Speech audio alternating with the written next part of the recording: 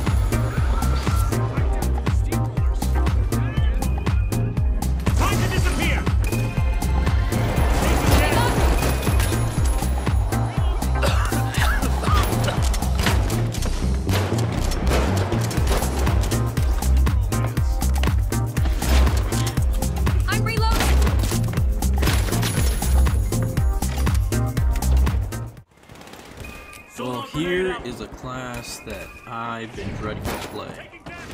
Not because it's necessarily bad.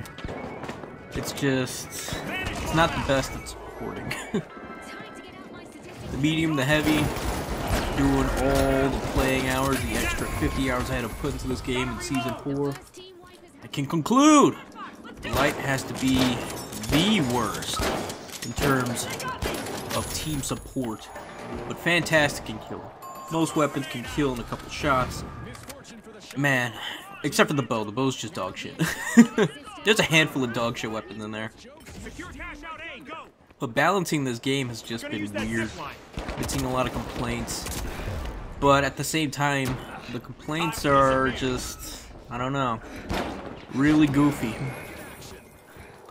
Really goofy. You got a game that feels very well balanced here. I think it's quite balanced as well. Yeah, all the classes feel like they suck compared to what they used to be in their former glory, but. I guess that's a good thing, but at the same time, when it takes entire mags to usually kill most classes, it kind of sucks. But it's that weird tug and pull of countering everything to make sure everyone lives long enough. Which I also heard that devs were also considering upping HP pools because the times of kills were too low. Yet, the biggest complaint players have is that you have to dump an entire mag or two just to kill one guy. So there's a very strange, I don't know, there's some tug and pull there in that feedback and actual gameplay maybe. Heavy's doing the best, but at the same time, not really. Because let's really think about that. Heavies are the least popular, right? They're chosen, I would say, maybe 10, 15% of the gaming community in the finals.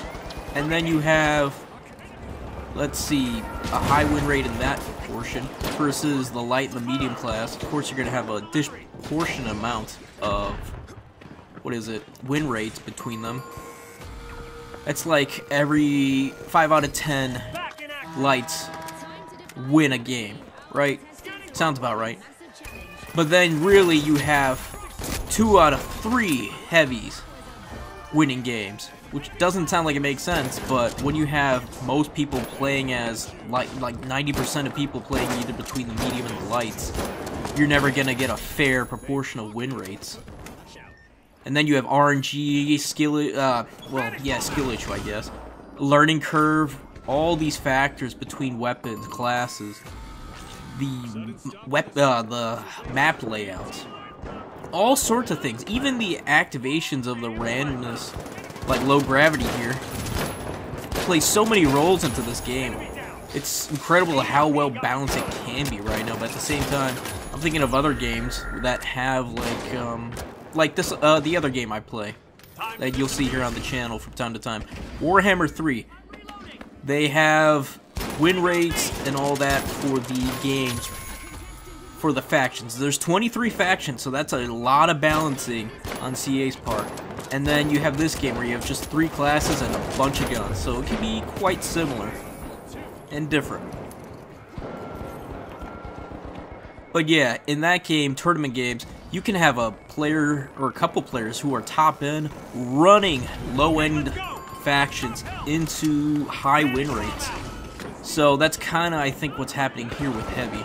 You just have pretty decent players, but also a low player count, keeping a lot of the losses away from a very unpopular class.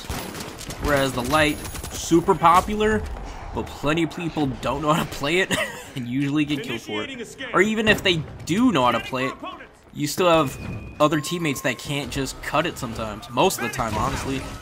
That's usually the curse, isn't it? You gotta, you gotta have the worst players on your team, and the enemy team has the best, and you don't know why that is, but it is what it is.